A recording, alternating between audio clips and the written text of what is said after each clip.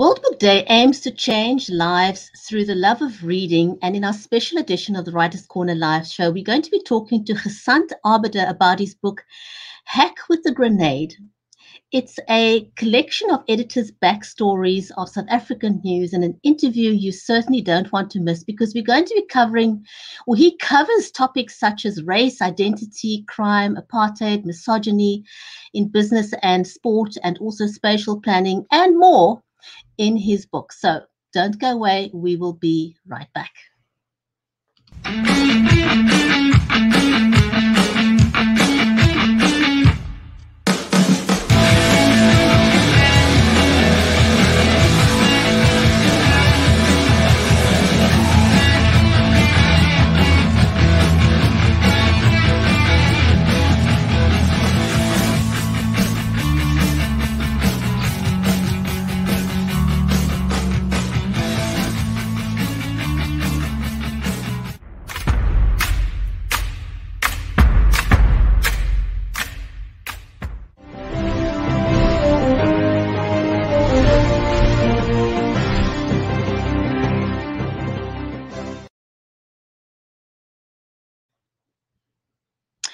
You're just joining us, then welcome to the Writers Corner live show. I'm your host, Bridgetti Limbanda in Cape Town in South Africa. And the stream is made possible by StreamYard, Creative Edge, and BeLive Media. A special warm welcome if you're joining us on Amazon Live so that you can know more about the books that we are we offering and also the author and their backstories. If you're watching us on Twitter, Facebook, YouTube, and LinkedIn, also a very, very warm welcome to you. And just know that we are monitoring the comments, so feel free to say hello. Um, if you have any questions for our author, please post that as well. We are monitoring our comments and will respond.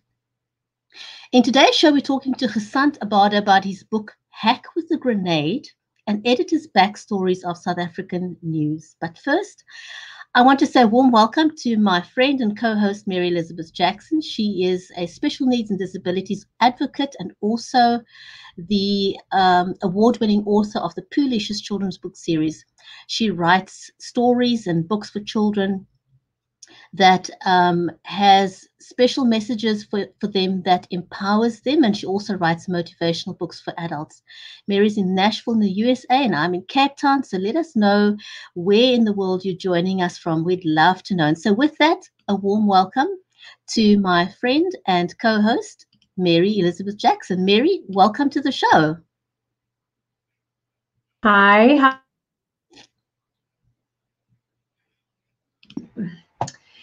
I am very excited to be here. How are you today? I'm very well, can't complain, and I'm very, very excited about um, our guest today. We haven't had yes. many authors from South Africa.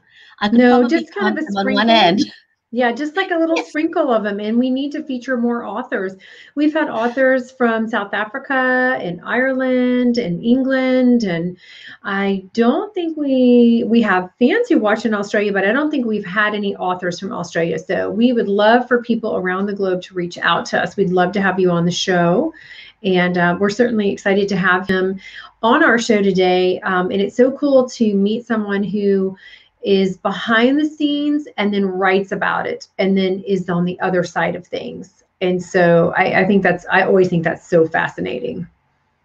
Oh, absolutely. So, for those of you who don't know Gasant Abarder, he is a journalist who worked in print, radio, and television newsrooms in South Africa for a whopping 21 years. He doesn't look and, old enough. no, he doesn't. he was he was the editor for the well-known Cape Times and Cape Argus, um, and he was also nominated as the Mail & Guardian's 200 Young South Africans in 2013. Gasant also served as the deputy chairperson of the South African National Editors Forum, and currently he is the media and marketing communications manager for the University of the Western Cape in South Africa but I'm dying to talk to him. Yes. Shall we invite him to the show? Yes, let's do, please.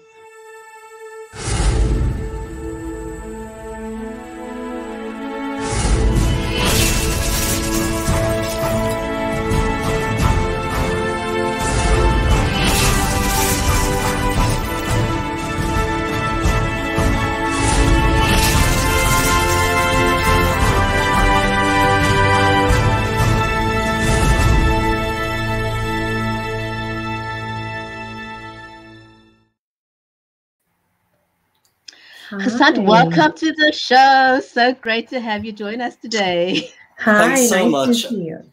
Yeah. Thanks so much, Mary and Brigitte. I'm, I'm actually pinching myself here because this is such a, an amazing platform to be featured on and to be speaking to such um, such a privilege to be hosted by the two of you. Um, I don't know. Is it good evening there, Mary, in the in the in the states? Home of the No. smash burger, isn't it? In Tennessee. Yeah. Actually, actually, we are Smashville. Uh, Nashville is called Smashville. Yes, you're right, and it is one of the top places in the country for like bridal parties and weddings and music. And uh, it's actually 10:37 in the morning here, so Oh, okay. we, you are seven hours ahead of me. So I always say that I get to talk to people in the future. That's what I always say because y'all are in the future, so you know what happens before I do, right?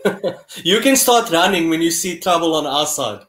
Yeah, if y'all are running, you call me 911, get out, I'm leaving. So, oh my gosh, Oh we're so glad to have you here.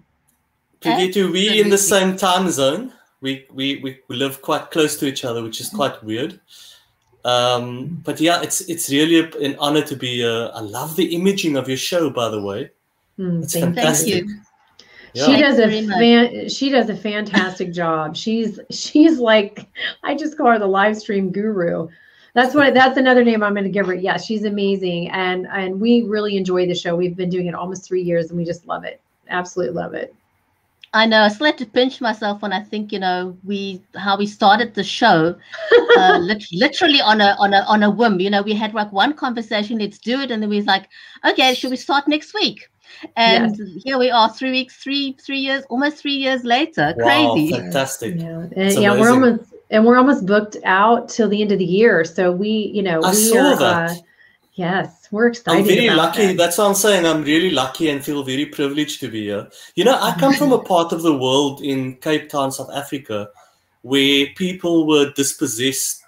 People were dispossessed of their homes. So my great, my Mhm. grandfather was kicked out of his house because um, I'm a person of color, um, and he couldn't live in a certain area. So we had to move to an area called the Cape Flats, which um, has a lot of social problems um, and and in my storytelling, it it gave me in in news in the newspaper world, it gave me a very rich understanding of what what ordinary South Africans go through. You know, the politics that we often hear about in the news are the identity politics. You know, you hear about old Julius Malema, the rabble rouser, our president Cyril Ramaphosa, but on the ground, the issues, the bread and butter issues, are what journalists should be concerned about. So this book behind me, um, Hack with a Grenade, is a series of backstories I did while I was editor of the Cape Argus. And as you mentioned in your introduction, it's tackling a whole lot of complex social issues, but using real people that I met on my journey, writing column, writing a column called the Friday Files about interesting South Africans doing incredible things. And I use them to tell the stories, the story of South Africa, really. You know, the psyche behind what makes South Africa tick. A very complex country, lots of inequality. And obviously, the book has a big Cape Town bias because that's where I live, but it focuses on national issues as well. Hmm. Yeah, because they're is- everywhere, aren't they? They're all these issues are everywhere. Yeah, sure. But you know, um, in South Africa, um, I, I, I quoted George Orwell earlier in the week. Um, everybody's all animals are equal, but some animals are more equal than others. You know, from from Mm. Animal Farm, and and the thing is, we we do have some of the biggest inequality um, ratios between rich and poor in in in in a country, and it's a big worry because it's, it's even seen with our vaccine rollout at the moment. You know Mm. that we call it the apartheid vaccine uh, or a vaccine apartheid because um, there are just so many different issues. Uh, people aren't plugged into the economy. We've got issues with broadband and access to Wi-Fi. But this story is not. It's not really. This this book's not really about that. This this book's a, a celebration of life in South Africa, but it tries to uh, make non-South Africans um, or, or those living abroad, expats, understand what is currently going on in our country. You know, the issues we deal with in newsrooms that we think people know about, but they actually don't, you know? And, and I know that that's highlighted. Um, I think it's in chapter two of your book, isn't it?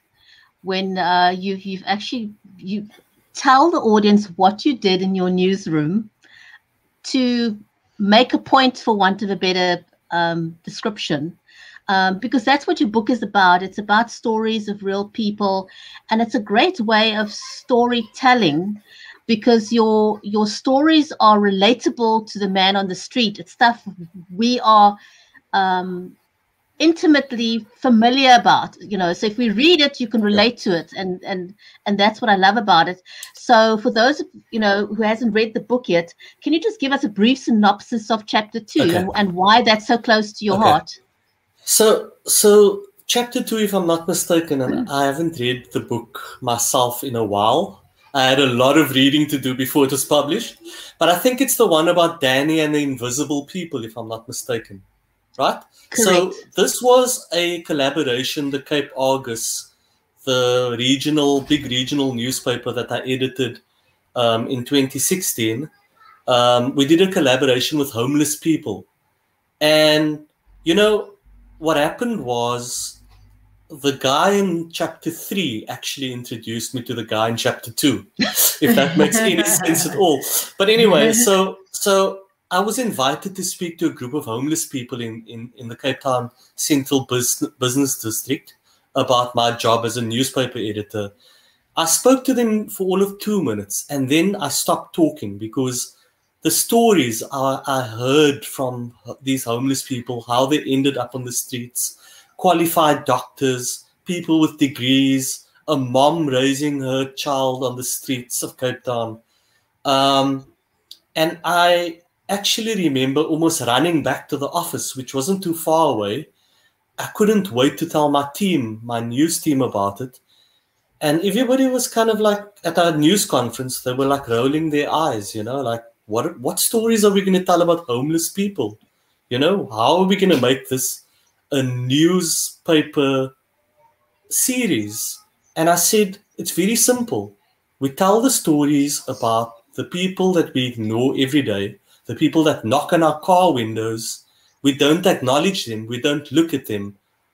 Um, and then we, we came up with a very powerful project called the Dignity Project. And the Dignity Project profiled, it's like, I think, I think there was a series called the, the, for the People of New York or the Humans of hmm. New York. Um, humans of New a, York, yeah. Humans of New York, yeah. And, and in a very similar way, every day for 14 days, we profiled a homeless person in Cape Town. But it was called the Dignity Project for a reason because I didn't want pictures of homeless people sleeping rough and scratching in bins. So the brief to the photographer who worked on the series was I want you to take this image of this homeless person at their best. So imagine you shooting the mayor of Cape Town or the president of South Africa. That's what I want. And a journalist called Lance Witten, who's a fantastic storyteller, was perfect for the job because he does multimedia as well. So after three weeks, I was begging these guys, show me what you've got. You know, you've I've given you three weeks, which is a is a luxury in any daily newsroom. So um, they showed me what they had, and I thought it was a really good series, but it missed something. And then I remember Lance telling me he had met a guy who writes and he sent a few pieces into the newspaper. And then I actually had a look at the paper. And yes, it needed some work, but this guy could write, you know? He had a story to tell, and here was a lived experience from the horse's mouth, you know? His name was Danny Oosthuizen. And I invited him in that Sunday before we launched. And I told him, um, You're going to write our front page lead tomorrow. So I think for the first time in publishing history in probably the world, a homeless man wrote the front page lead of a major um, uh, mainstream newspaper. So it was unprecedented. It got a lot of coverage in the media. heart started to soften because we gave him a, a, weekly column and we paid him for it. He was able to improve his his his life circumstances. Um, but we learned so much more from Danny about our humanity as well. So you asked me about the experiment. So I had an ulterior motive. How can I send a team of journalists out and they have prejudices about homeless people? Danny happened to be HIV positive as well, and he was gay. So, I mean, think about it. I wanted him to sit next to one of my journalists. I wanted them to feel uncomfortable and to get to know him because, and I invited him into the news conferences because he had a very unique worldview that we take for granted. How do you take a shower when you live on the streets? When a, when a woman is having a period, the public toilets in Cape Town are locked, you know, and the city of Cape Town has actually declared war on homeless people, and a lot of cities all over the world have, has done this. Um, the city started issuing fines for loitering if you're homeless. Can you imagine? So if you don't have a fixed abode, you can't get bail, and we're criminalizing poverty. That's all we're doing. So the so that chapter deals with that, but I don't want to give too much away because I don't want to spoil it for the reader. But I had 200 profiles of this Friday file columns to to curate as my raw material, and I had to choose 10 stories to tell a coherent kind of book, you know, to put together in a coherent book. Because my idea was to take it to the publisher and say, "Yeah, publish this." obviously they laughed at me and says it doesn't work like that we need a mm-hmm. narrative mm-hmm. we need to hear your voice and you need to sew this all together in one book you know right Right. So that's the question we have is who did you write this book for? Because um, on its first appearance, people might think that it's just for a journalist or, you know, if you're going to be a journalism major, it might be a good book to study things like that. So, um, you know, tell us who this is for. I mean, listening to you, it's for everyone. That's what I hear. But was that your intention in the beginning? And what is, you know, what's your intention now with it? Is it changed? Yeah. So one of the one of my pet hates um, as a journalist was that as journalists we tend to write for each other instead of our audiences. So this was never intended to be a book for journalists. Although if you read the introduction, it does paint the media landscape in South Africa and globally as well. So from that perspective, it's very useful. But what I wanted to illustrate for journalists was there is a life for newspapers after all if you look at the New York Times, the London Evening Standard, they've all managed to increase their subscription bases through innovative journalism, but also investment in journalism. So the book has messages for owners of media houses, for journalists as well, but primarily it's for the South African public to get behind the scenes of newsrooms, talk about some of the challenges we face, and also to give them a sense of what are the issues that we're not talking about um, through the eyes of a newspaper editor. And often, you know, if it bleeds, it leads. That's the kind of mantra that they put out in the news media. But we're ignoring the real bread and butter issues. And that was my point. So, to make newspapers relevant again, we needed to tackle issues that affect real South Africans. It's yes, there's a lot of crime and people are beaten over the head with crime all, all, the time. But what is the story behind the crime? Who is the criminal? You know, and why is he or she doing what they're doing? You know, and that's why we started the the kind of phrase in our newsroom, um, in your own voice. And another chapter in the book deals with that when um, you'll remember in 2015 there were massive protests in South Africa by South African students at universities. It was calling for free tuition. Fees must fall. That was the hashtag of the campaign. So the criticism from the students were that um, they weren't getting their voices heard in the mainstream media. It was kind of top heavy. We were speaking to the vice chancellors of universities and the minister and all the academics, but we weren't hearing from the students. So somebody put out um, somebody put out an, a challenge on Twitter, and without thinking, I accepted the challenge. And the challenge was it's a guy called um, um. He's a, he's Twitter royalty in South Africa, and he said, "I dare or I challenge any editor to hand over an edition of the newspaper to the students involved in the protest." And I accepted the challenge, not thinking. And then obviously there was the real um, chance that I was going to get fired the next day because I went on Twitter and I publicly proclaimed that we're handing over an edition to students. But it wasn't as easy as it sounded, and it was quite a challenge, but it worked out to be a bit of an award winning edition. It was recognized by the International News and Media Association um, in the Enterprise Journalism category of 2017. So um, it, it was breaking new ground. You know, again, I gave over the trust of a, an entire newspaper to a bunch of students who I didn't know, and they rose to the occasion. You know, so and and that's how we're going to change newspapers. You know, the relevance. Um, that's that's what makes the the New York Times a fantastic read because you know people are they're investing in, in, in storytelling. And that's and that's what we need to get back to. Oh absolutely. I'm sorry about We've, my kids. I'm no, sorry about no, my no, kids in the background you know. If you can hear them but live. they're very difficult to handle. It's this okay. is live and this is real so we've got a question here in the audience from um, patty mays and she says um, what are two of your most passionate issues? Okay. So i see a lot of people publishing these days and when i say that I mean, ordinary folks like my mom and dad, they see things on WhatsApp and they forward it without testing whether the information is correct and whether it's fake news or not. Or they'll see, my mom will see something on Facebook and she'll treat it as a gospel. Like my dad will say, Oh, I just read here that people who smoke have more chance of getting COVID. And there's nothing to prove that, you know?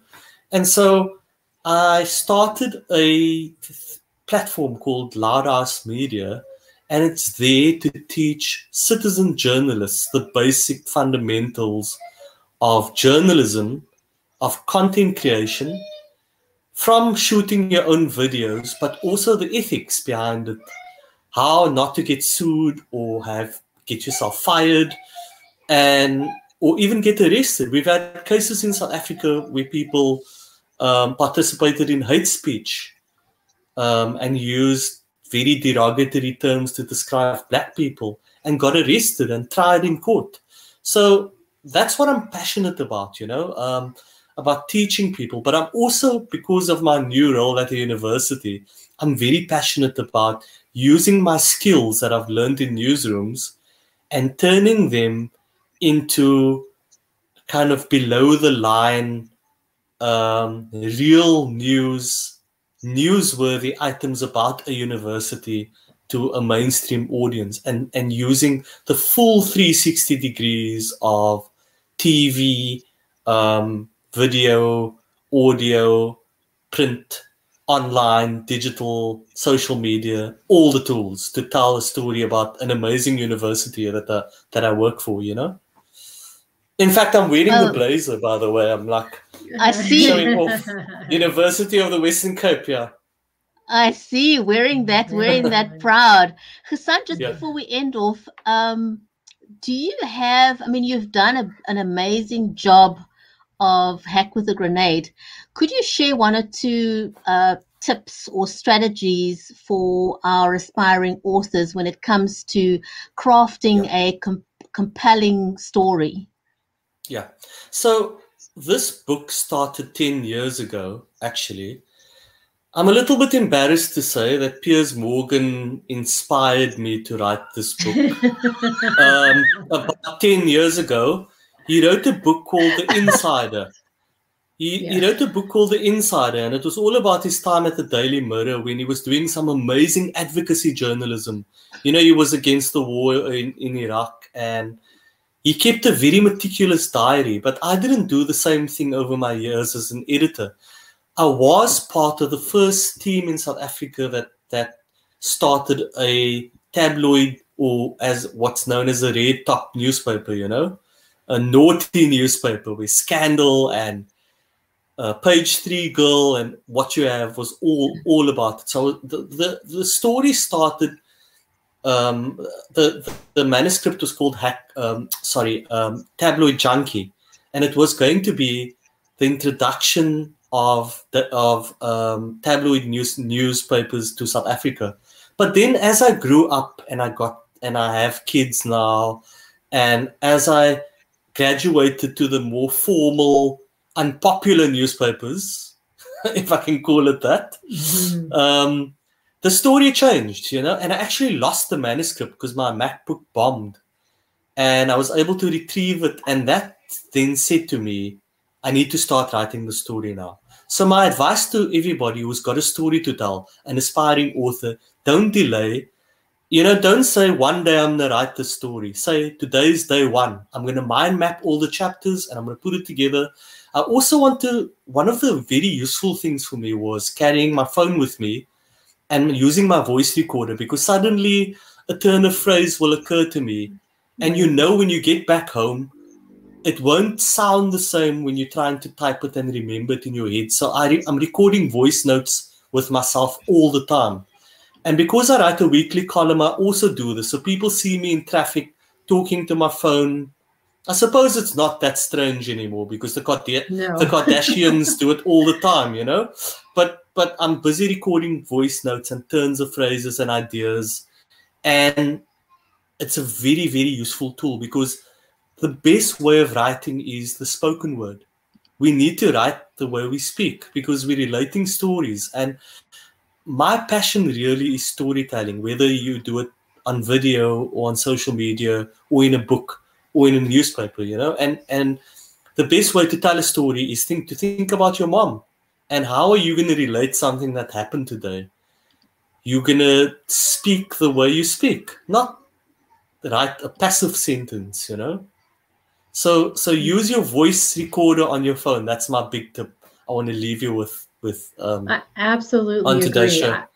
Yes, that's exactly what I do too. Because like you said, it never comes back the same way. Even if it's three o'clock in the morning and you need to go back to sleep, you got to write it down or voice record it because it never sounds the same. Absolutely. Yeah. So yeah, but, can, but at three o'clock in the morning, um, yeah. my wife's also complaining. Um, Sure. Oh, she's snoring. She's snoring. So you have to live with that as well. Uh, well, we won't Hassan, tell you said that, but uh, absolutely not. Hassan, thank you so much. This was amazing, and I think we're yeah. going to have to invite you uh, back again. I think we could probably go for an hour with you, just you know, very very easily. So we'll find us. We'll find a way somehow to um, to get you back on the show. But I want to say a huge big thank you to everyone who's joined us on Amazon Live today. Um, thank you to Patty. We loved all your comments. Um, uh, on Facebook. Thank you to everyone on on YouTube, on LinkedIn, on Twitter. It was great having you join us. Um, so thanks everyone. Hassan, thank you so much. We look forward to Cheers. having you back as a guest again. It was a real pleasure and an honor. Thank you so much. Thank You're you. welcome. Bye bye.